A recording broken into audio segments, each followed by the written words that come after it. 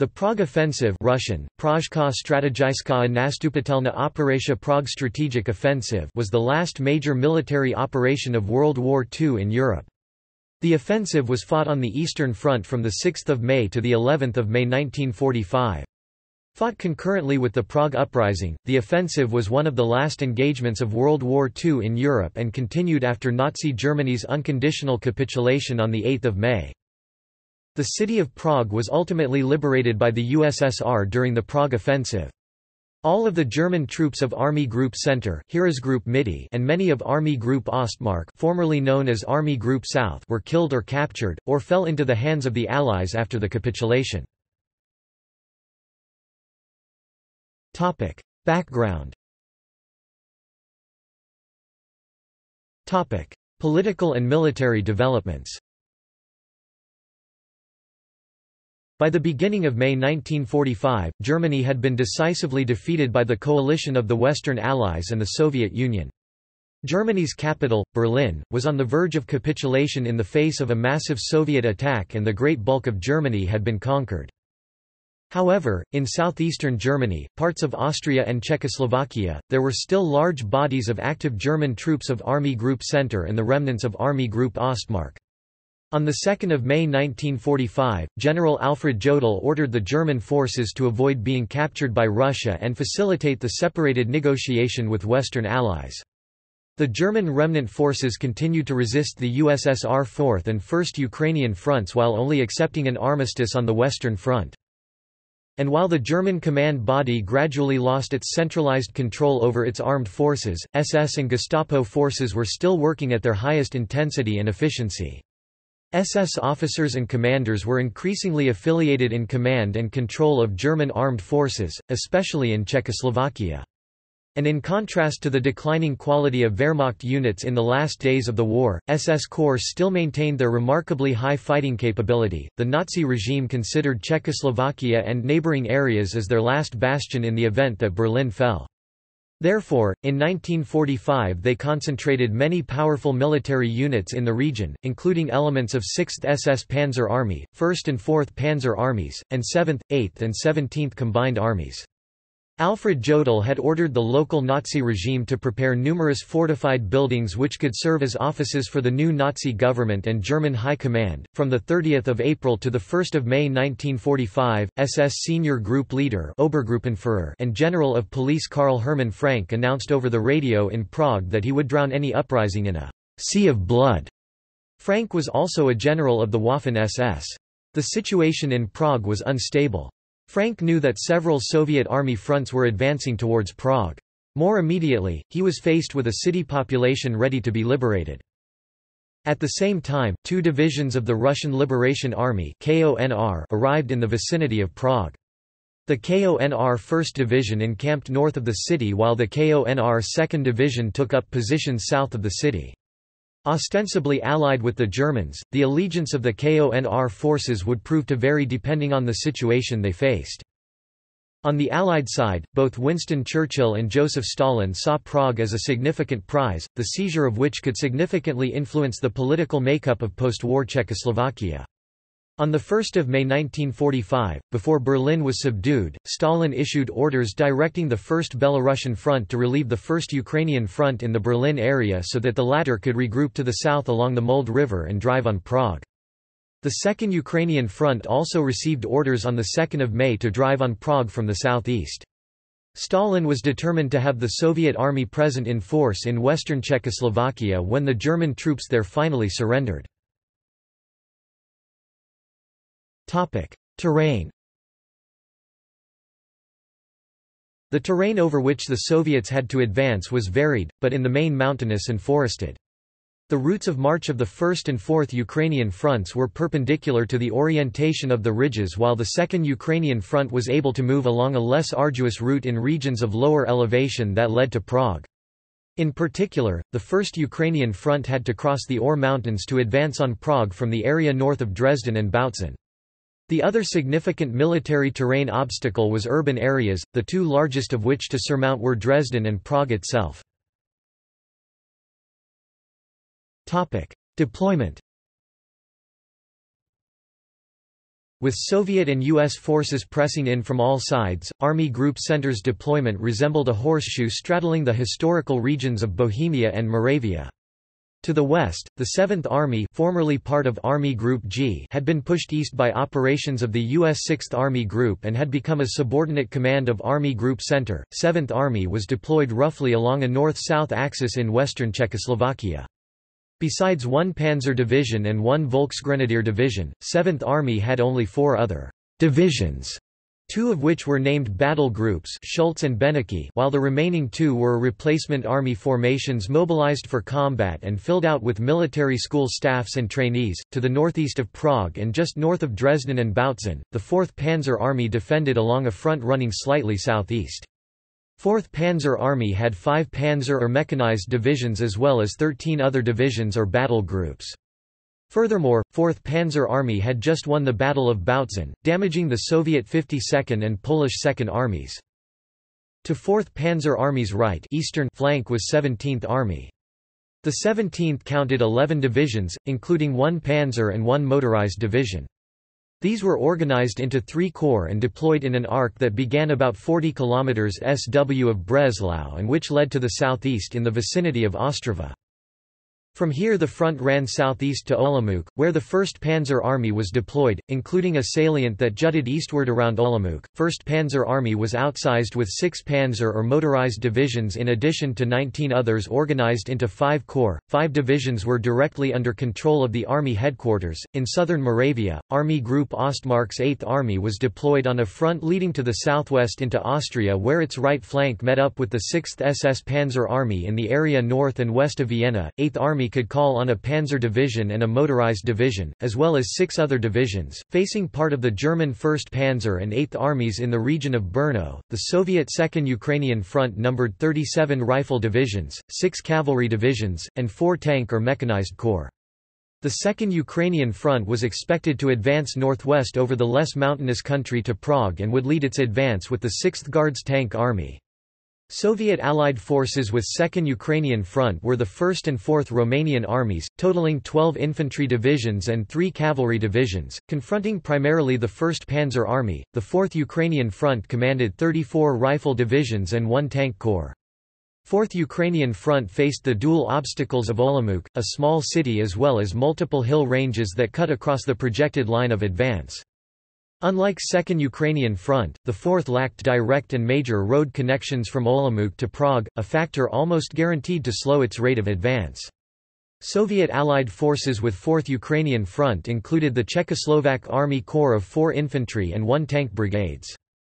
From the region north of Dresden and Gorlitz over a large arc to the area of Breslau, the 1st Ukrainian Front counted 71 rifle divisions and 3 cavalry divisions, as well as 9 tank and mechanized corps. The bulk of 1st Ukrainian Front's forces were massed north of Dresden for a direct advance on Prague and included the 3rd and 4th Guards tank armies. The primary opponent of this thrust would be the 4th Panzer Army. To the east, five combined arms armies and the Polish Second Army made up the left eastern wing of the front, the advance of which would pressure mainly the German 17th Army. Facing the main 1st Ukrainian front advance were the Ore Mountains, as well as the urban areas of Dresden and Bautzen. The main axes of late-war Soviet offensives were marked on the one hand by tank armies and by the presence of reserve of the Supreme High Command Stavka Reserve artillery divisions on the other. In May 1945, the 1st Ukrainian Front counted six artillery divisions and one rocket launcher division as well as one Polish artillery division, the 4th Ukrainian Front had two artillery divisions, and the 2nd Ukrainian Front commanded four artillery divisions and one rocket launcher division. Facing the German 7th Army to the west were the U.S. 8th Corps of the 9th Army, 5th Corps, and 12th Corps both of the 3rd Army. 8th Corps numbered one armored and three infantry divisions while 5th Corps was made up of one armored division and two infantry divisions. An additional infantry division under control of 3rd Army headquarters was also in V Corps sector, and a 2nd Armored Division would be subordinated to 5th Corps before V Day. 12th Corps commanded two armored divisions and two infantry divisions. Exerting some pressure on German 7th Army, these corps of the U.S. Army did not advance on Prague although their presence in western Bohemia stimulated Czech resistance to the German occupation, indirectly influencing the Prague Uprising. By agreement with the Soviets, the U.S. forces did not advance in strength eastward of an irregular demarcation line that at points touched Leipzig, Karlovy Vary, and Plzeň. Realizing that the Soviets would attack Army Group Center following the surrender of Berlin, on the 5 May field, Marshal Schörner devised a plan Blumen operation in which the units of Army Group Center would attempt a fighting withdrawal to the west where they would be in a position to surrender to U.S. forces versus those of the Soviet Union. Schörner envisioned withdrawal phase lines given the names of flowers and intended for the 4th Panzer Army to hold off the 1st Ukrainian front long enough for the other field armies of the Army Group to fall back to the west. Prague Uprising The orders from Stalin on 1 May to the three fronts called for the offensive to commence on 7 May. On 4 May, Marshal Konev provided detailed orders to his army commanders for three thrusts by the First Ukrainian Front. A main thrust would occur on the right western wing with three combined arms armies, two tank armies 3rd and 4th Guards tank armies and five artillery divisions, following the valleys of the Elbe and Vltava rivers. A secondary thrust by the 28th and 52nd Armies was to advance on an axis from Zittau to Prague, and a final thrust by the Polish Second Army was to cut off the southeastern approaches to Dresden. Dresden itself was to be taken by the 5th Guards Army as part of the main thrust. Suggesting to General Antonov that a U.S. advance to Prague was now feasible, General Eisenhower was informed that such was not desired by the Soviets. During the meeting with Marshal Ivan Konev on 5 May, General Omar Bradley also proposed the same offer. However, Marshal Konev, while he appreciated the goodwill of the American commander, refused the offer because Bradley's proposal violated the negotiated borderline between Soviet and Anglo-American forces, therefore Konev had no authority to accept it. Konev also promised that the USSR alone would destroy local German forces as soon as possible. At that point, events external to formal military planning erupted. By 5 May, the lead units of the U.S. Fifth Corps had reached Plzeň, with word of the American advance reaching the residents of Prague and playing a part in the decision of the city's Czech citizens to rise up against the German occupation. The uprising in Prague came into immediate conflict with the German occupation forces. Fighting in desperate circumstances, the Czechs gained control of a radio station and, besides calling on Czechs to join the uprising, also broadcast on 5 May an appeal in Russian and English for air support to hold off German armoured units. These developments prompted Stalin to hasten the start of the Soviet offensive and it was ordered to commence one day earlier, on 6 May adding to the confusion in Prague but providing useful assistance to the Czechs. The 1st Division of the Russian Liberation Army under General Bunyachenko moved into Prague and engaged in combat with their erstwhile German allies. By 7 May, the 1st Division had occupied the airport and the radio station. Battle The Soviet offensive commenced on 6 May and concluded on of May. The 6th of May Konev's 1st Ukrainian Front opened the Prague offensive with an attack by the 3rd and 4th Guard tank armies and the 13th, 3rd Guards, and 5th Guards combined arms armies. This group of five armies was Konev's main attack and pushed south from the area around Riesa. Facing Konev's thrust were troops of the German 4th Panzer Army. The attack opened with a reconnaissance in force in the morning, followed by a brief but powerful artillery barrage. 13th, 3rd Guards, and both tank armies as well as two other tank corps attacked southward in the afternoon, with the 13th Army and the 4th Guards Tank Army pushing forward some 23 kilometers. By evening, 5th Guards Army had joined the attack with the objective of capturing Dresden. Ending a separate First Ukrainian Front operation, 40,000 German troops in Breslau surrendered to the Soviet Sixth Army after a two-month-long siege. On 6 May, 4th Ukrainian Front attacked to the west, intent upon capturing the city of Olomouc. Defending against the Soviet attack in front of Olomouc was the 1st Panzer Army. In the west, the U.S. 5th and 12th Corps attacked into western Czechoslovakia against the defences of the German 7th Army. Elements of the 16th Armored Division captured Plzeň while a combat command of the 4th Armored Division captured Strakonice. In all, the two corps advanced into Czechoslovakia with a strength of seven divisions. To the north, the U.S. 8th Corps was subordinated to the U.S. 9th Army. The 7th of May Continuing the main attack of the First Ukrainian Front, 3rd Guards Army captured Meissen, home of the famous German porcelain. The 13th Army and the 4th Guards Tank Army pushed 45 kilometers further to the south and reached the northern slope of the Ore Mountains. The 3rd Guards Tank Army and 5th Guards Army began the battle to capture Dresden. The 2nd Polish Army thrust to the southwest in support of the operations against Dresden. Farther to the east, the second attack of the front developed as the 28th and 52nd Armies attacked to the south. Following a 30-minute artillery barrage, the 7th Guards Army and the 6th Guards Tank Army led an attack to the northwest, opening the offensive of the Second Ukrainian Front. Adding to the difficulties of the defending German 8th Army, the Soviet 9th Guards Army and 46th Army reinforced the attack on its left southern wing. By the end of the day, the front had pushed 12 kilometers into the German lines along an advance 25 kilometers in breadth. Between the 2nd and 1st Ukrainian fronts, the 4th Ukrainian front continued its advance on Olomouc. In Prague, German troops reached the Old Town Square, one of the centers of uprising, but later were pushed back. The buildings of Town Hall, despite being severely damaged, remained in the hands of insurgents for the whole uprising. The overwhelming pressure on the uprising and the civilian population continued. On 7 May, General Alfred Jodl, Chief of Staff of Oberkommando der Wehrmacht, German Armed Forces High Command, signed the surrender of all German forces at SHAEF. The surrender was to become effective at 0001 hours on 9 May. In western Czechoslovakia, upon receipt of the news of the surrender, U.S. forces ceased offensive operations and assumed a defensive posture.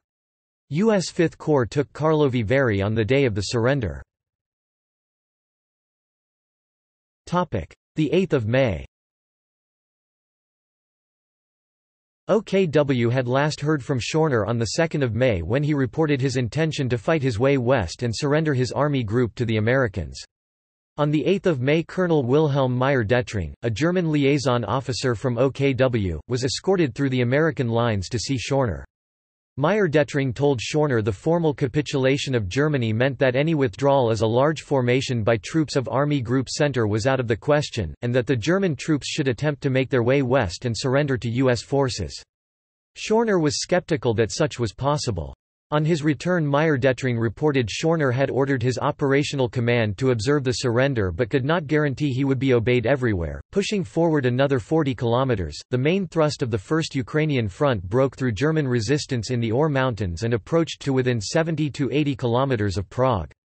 The advance of the 4th Guards Tank Army came upon the headquarters of Army Group Center, capturing or killing the headquarters personnel, but not Schörner, who, deserting his command made his way to Podbořany where the next day wearing civilian clothes he flew to Bavaria. Nine days later he was detained in Austria by German troops who handed him over to the Americans. By the evening of 8 May, Dresden fell to 3rd Guards Tank Army and the 5th Guards Army. On the same day, the 4th Ukrainian Front pushed the Germans out of Olomouc. The Soviets broadcast a demand that the remaining German forces in the field were to lay down their arms by 2300 hours that day. No reply was received. Without a functioning Army Group headquarters and leaderless, the component armies of Army Group Center had been left to their own devices. The plans of Schörner for an orderly withdrawal notwithstanding, the bulk of Army Group Center's troops were destined to be captured by the Soviet Army.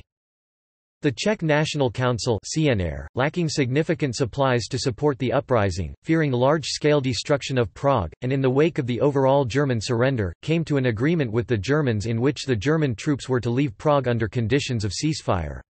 Some SS units, however, continued their attacks against the Czech insurgents in Prague.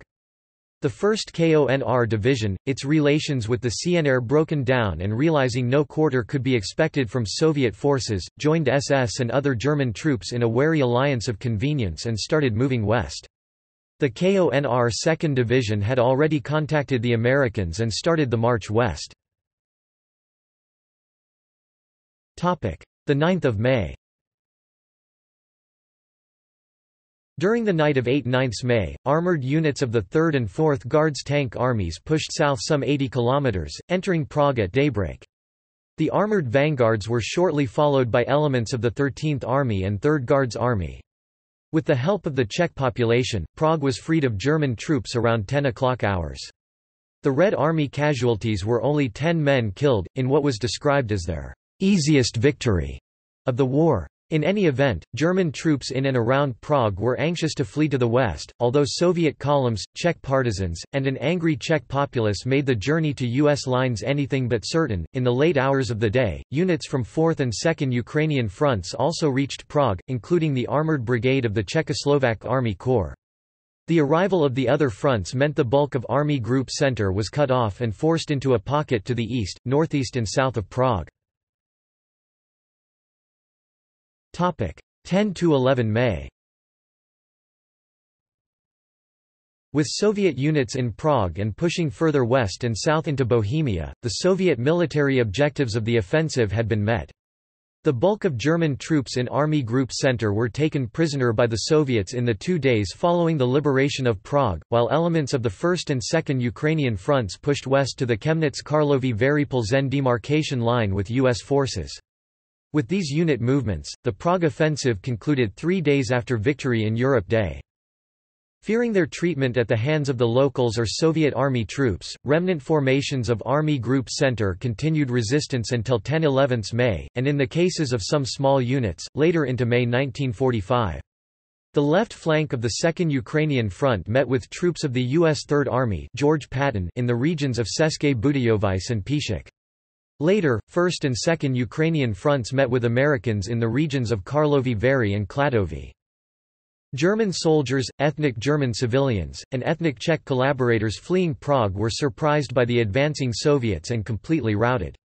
The Czech partisans resumed hostilities against the fleeing German troops regardless of their intentions or nationality, in what the veterans of the 20th Waffen Grenadier Division of the SS 1st Estonian who had laid their weapons down in May 1945 recalled as the Czech Hell. Aftermath Military and political considerations The Prague Offensive destroyed Army Group Center and parts of Army Group Ostmark. These army groups were the last large intact military formations of Germany, and following the offensive, all surviving German soldiers became prisoners of war or fugitives. The number of German prisoners taken by the Soviet Union reached almost 900,000 and other Axis soldiers, numbering at least in the tens of thousands, surrendered to U.S. forces in western Czechoslovakia and Austria, although numbers of these were later turned over to the Soviet Union. Czechoslovakia was free of the German occupation regime for the first time since late 1938. The country's pre-war borders, however, would not be completely restored as the Soviets engineered the cession of Carpathian Ruthenia to the USSR in July 1945. Western Czechoslovakia was split by a military frontier of superpowers, on one side of which was the Soviet Army and on the other side of which was the U.S. Army. Although both armies would depart Czechoslovakia by the end of 1945, Stalin had achieved his goal of ensuring a strong Soviet military presence in Prague at the time of the surrender of German forces in Czechoslovakia. Communist influence in the post-war Czechoslovak army and government mounted. Czech soldiers who had fought with the Western Allies found themselves increasingly on the sidelines, and the country itself was forced to become a Soviet satellite state in 1948 by a communist coup. Topic: Immediate deaths of prominent figures. Even before the start of the Soviet offensive, on 5 May, Emanuel Moravec committed suicide. Moravec, known as the Czech Quisling, was infamous among the Czechs as a traitor. Konrad Henlein, the former Czechoslovak politician and the leader of the Nazi Party of Sudeten Germans, committed suicide in American captivity on 10 May.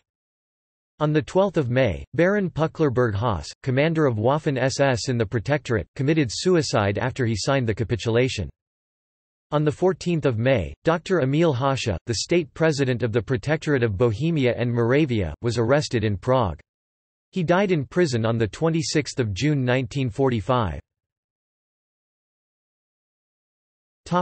Historiography of the offensive